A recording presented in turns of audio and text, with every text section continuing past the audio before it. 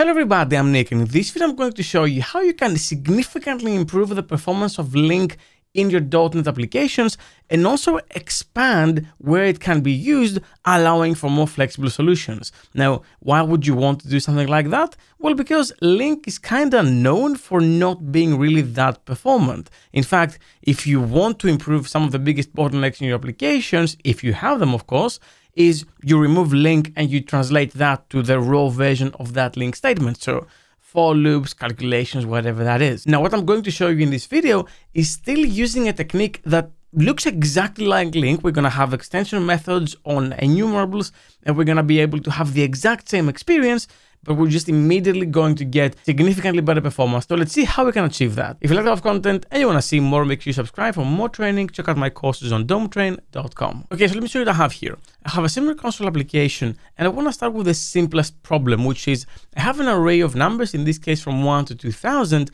Uh, and I want to get the sum of them. So the simplest solution to that would be, of course, to say array.sum and use this LINQ extension method to calculate the sum. Now, if you've been paying attention, especially in .NET 7, you would know that sum, max, min, and average were methods whose performance was significantly improved. In some cases, we're talking huge performance improvements. And of course, from 7 to 8, because 8 is faster, there was a smaller performance boost as well. Now, if I quickly say get the sum and put it in the console and just print it just to see the value, you're going to get this value very, very quickly. And there is nothing fundamentally wrong with this. This was pretty much sped up to a pretty good standard. And how this was achieved is explained in great detail in Stephen Toub's performance improvements blog for .NET 7. And as you can see, sum was improved significantly, than average, min, and max. Now, not everything was improved on the same level, but those things that were improved significantly were mainly improved because of the introduction of SIMD. Now, you don't need to exactly know what SIMD is. All you need to know is it means simple instruction multiple data. Basically, is a form of parallel processing on the hardware level. That's why actually, if we go in any of these methods now in LINQ and we go into the root method, you're gonna see a, an if check, maybe not here, uh, but maybe in some here you will see it.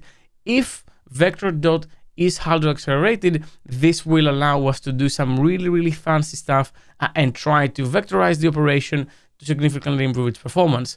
You don't need to know what it is. All you need to know is you just automatically get it and you have the exact same logic.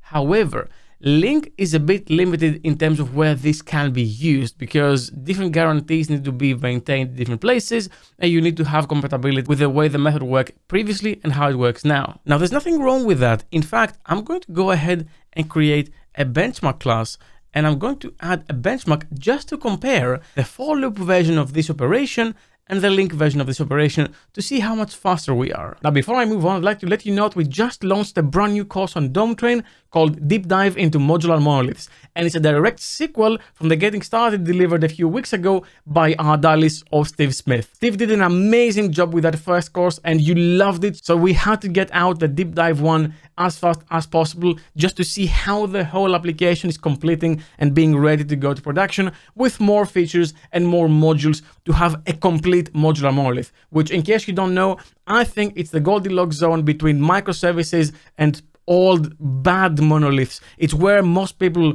and by most I mean almost everyone, should start before they feel like they have to go anywhere else, maybe microservices or maybe even further. Both the deep dive and the getting started should be taken by every .NET developer working in modern .NET. There's so many best practices you're gonna learn there. And to celebrate the launch of the deep dive, you can use code modular20 at checkout or use a link in the description to claim 20% off that course.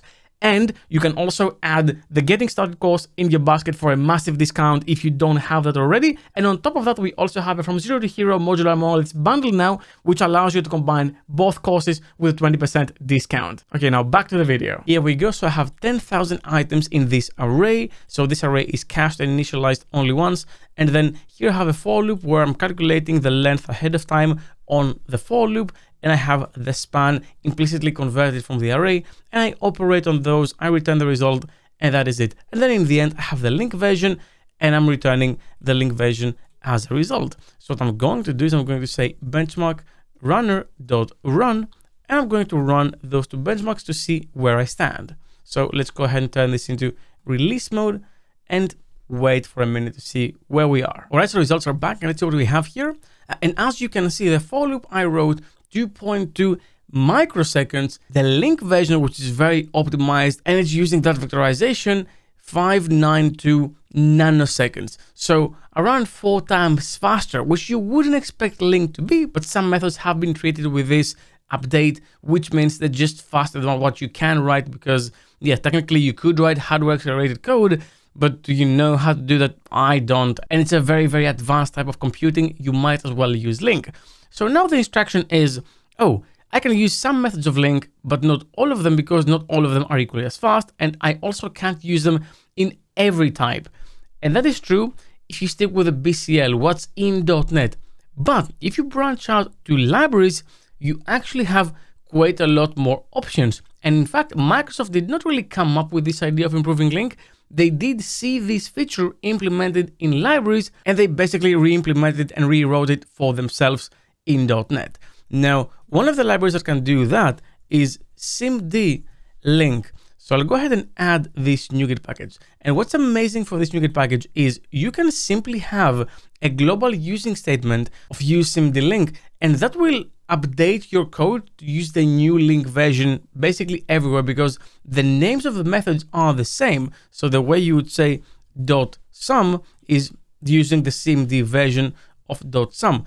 And now that's exactly my code, but because I have the using statement, I'm using the fast version.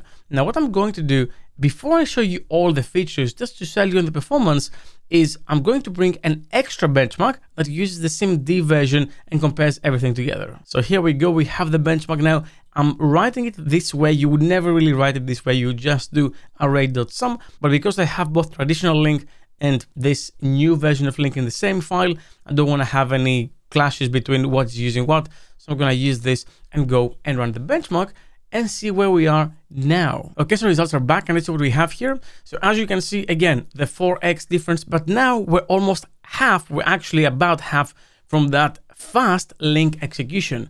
And we're not gonna go too deep into the implementation, but if we just quickly scrape the surface, you're gonna see that if I go into the sum call method, I have the same is hardware accelerated logic, and then a bunch of really advanced stuff that I don't understand. What I do understand, however, is that it's very easy to introduce this to a project if you want to keep using LINQ and have it be very, very fast. And why do I say that? Well, because it doesn't just update the performance of sum, average, min, and max, but it actually introduces a method for long sum specific to longs, min max that returns a tuple so you can get both the min and the max on the same execution. And that is really, really cool. Actually, let me just quickly show you here. So you want to say min, and then you want to say int max over here, get min max.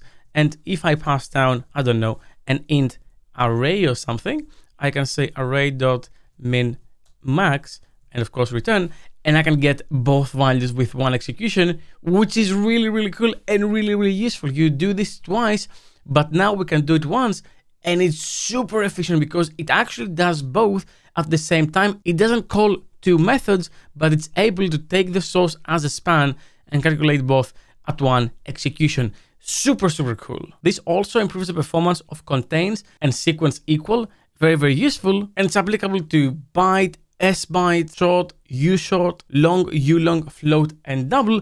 And on top of that, you can use it on list of type T, span of type T, read-only span of type T, memory of type T, read-only memory of type T, on top of array of type T. You can use it basically everywhere that it makes sense to be used. So if this was, of course, a, a span of an integer, well, you wouldn't really be able, if this was an array or enumerable, to do this. But now you can say sum, you can say long sum, all that's coming from SIMD acceleration. And then you have many other methods, again, long sum, contains, and so on. Many of those are coming from SIMD and they're extremely optimized. Now, how come these people are writing code faster than Microsoft?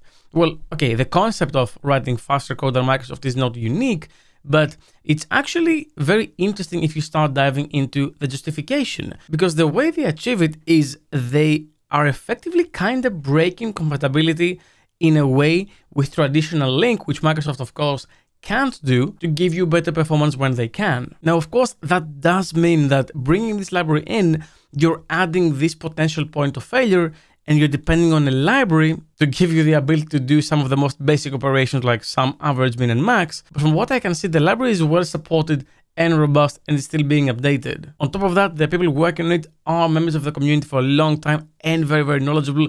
So I wouldn't really fear trying this at least to see how my application will behave, especially if you have LINQ heavy scenarios and you don't want to go ahead and just replace everything. Again, it focuses more on those methods on a calculation basis. So again, averages, min, max, whatever, sum, and so on. But those are some of the ones I see quite a lot. So it is basically a free performance boost if you can bring this in and try it out. I will put a link for the project in the description. If you like it, please give it a star and do read the readme.md to see how they went about giving this performance and what the limitations are, because in my opinion, it's very, very interesting. But now I want to know from you, have you heard of this concept before and are you using a package that does the same thing, but maybe better or with better support? Leave a comment down below and let me know. Well, that's all I have for you for this video. Thank you very much for watching and as always, keep coding.